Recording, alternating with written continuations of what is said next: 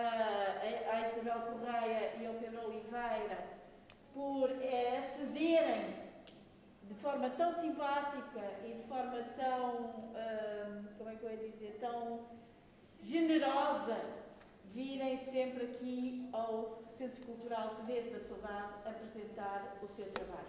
Muito obrigada, Sra. Poesis. O palco é vosso.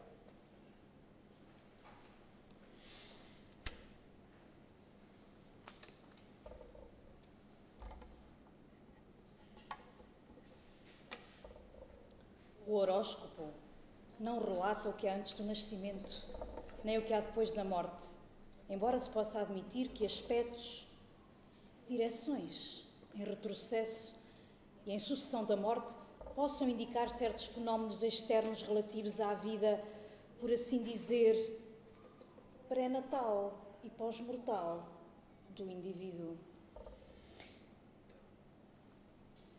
Isto, porém, é duvidoso. A vida é essencialmente ação, e o que o horóscopo indica é a ação que há na vida do nativo.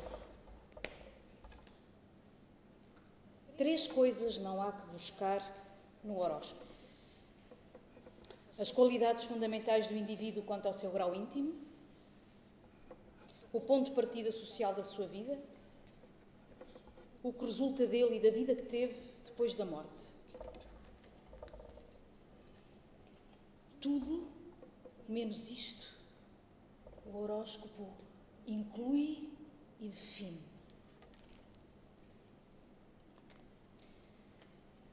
Não pasmemos de que seja apagado e fruste o horóscopo de tal grande artista que foi célebre só depois da morte. O horóscopo indicará qualidades artísticas em grau que não podemos medir e indicará obscuridade. Tudo será indicado em abstrato. Só uma vidência nossa o poderá concretizar.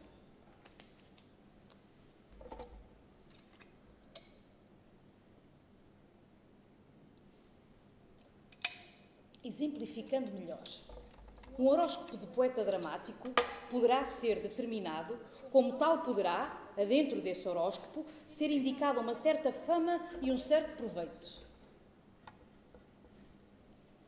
A parte disso, o horóscopo pode ser o de Shakespeare ou de um poeta dramático de inferior nota, que na época em que viveu tenha tido uma vida, quanto a fama e proveito, idêntica ou semelhante à de Shakespeare. O horóscopo revela pouco mais ou menos o que o mundo vê. Nunca devemos esquecer este pormenor importantíssimo. Sem ele, nada faremos de astrologia.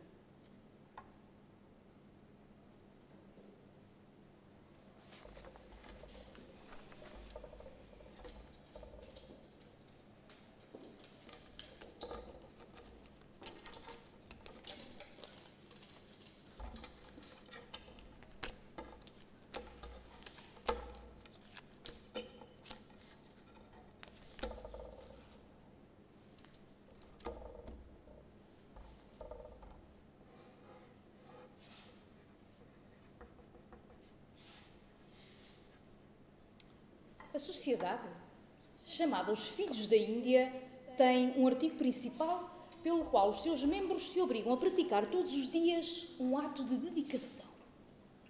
À primeira vista, esta ideia parece nobre, vigorizadora, prática mesmo.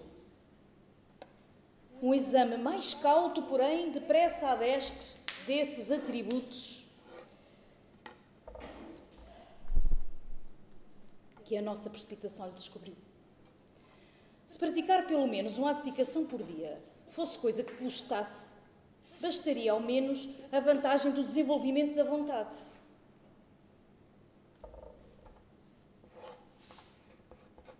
A mulher que é um ser inferior, é ingenitamente dedicada. Serve por temperamento. A teosofia é um sistema criador de mulheres. A natureza, porém, é mais sutil que os teosofistas. De tal modo estão as coisas arranjadas por ela neste mundo que servir-se cada um a si, completamente, energicamente e competentemente, é ainda o melhor meio de servir os outros, mesmo no sentido altruísta que os teosofistas dão à palavra. Porque uma vontade forte pode ser muito mais útil que uma vontade fraca. A teosofia, afinal, não passa de um sistema de filosofia indiana que, por tipicamente vago e lato, se adapta perfeitamente à ciência moderna, como de resto a ela se adaptaria se fosse precisamente o contrário quanto aos princípios em que assentou.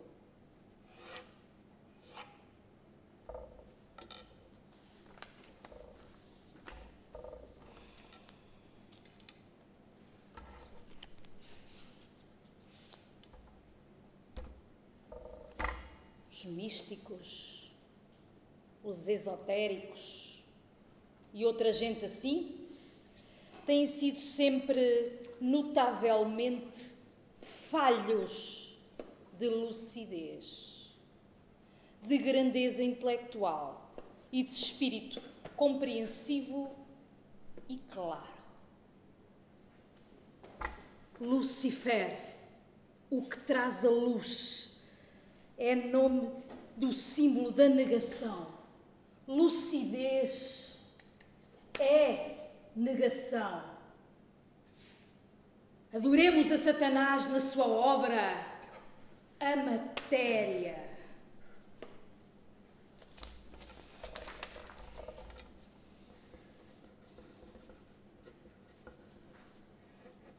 O raciocínio é antidivino por natureza. Por isso, devemos amar cultivar o raciocínio.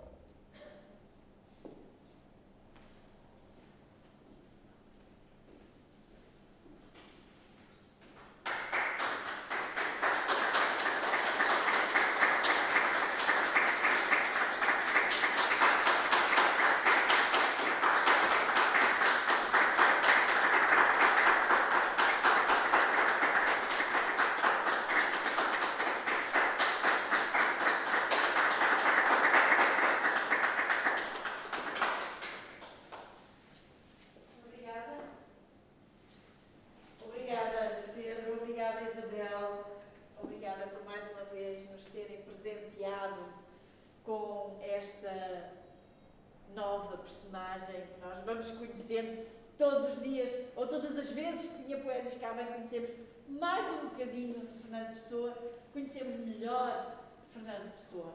Espero que as pessoas lá em casa também tenham gostado e uh, despedimos-nos até à próxima, Senhor Poésias. Venham mais vezes. Obrigada. Obrigada, Obrigada a todos. Obrigada. Obrigada.